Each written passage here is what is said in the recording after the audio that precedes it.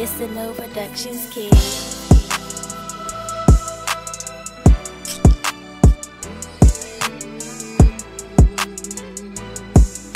Don't act like you don't know. It's a node on the track.